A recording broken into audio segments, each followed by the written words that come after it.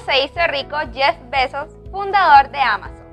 Jeff Bezos, el saliente director ejecutivo de Amazon, es uno de los hombres más ricos del mundo, con un patrimonio de 186.800 millones de dólares, según la revista financiera Forbes, en enero de 2021, pero no siempre fue así.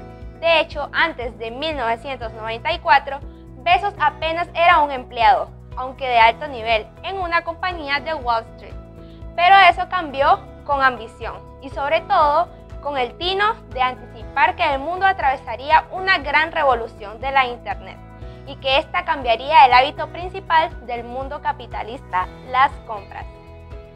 La historia dice que todo empezó en un garage en Seattle, donde Bezos inició una librería en línea llamada Amazon. La historia es correcta, pero muy resumida. En realidad, la historia de la riqueza de Bezos se remonta a la década de los 80, cuando a la par de estudiar ciencias de la computación e ingeniería electrónica en la Universidad de Princeton, trabajaba en un McDonald's. Graduado con honores, Bezos comenzó a laborar en startups, para más tarde incorporarse a D.A. Shaw Co., un banco de inversiones de Wall Street.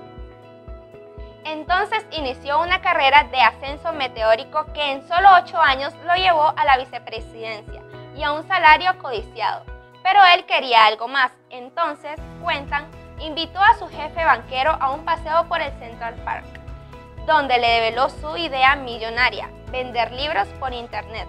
Su jefe le aconsejó olvidarse de sus sueños y concentrarse en su trabajo. Al cabo de dos meses, Amazon vendía libros a 45 países e integraban unos 20 mil dólares semanales.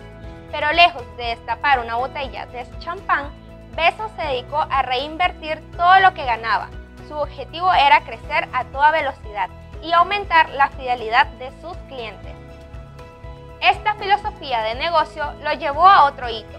El 15 de mayo de 1997, tres años después de su fundación, Amazon cotizó en la bolsa a un precio de 18 dólares por acción.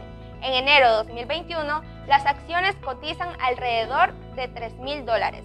De modo que quienes invirtieron, digamos, 5 mil dólares en aquel mágico 15 de mayo de 1997, hoy tendrían una fortuna cercana a los 2.5 millones de dólares.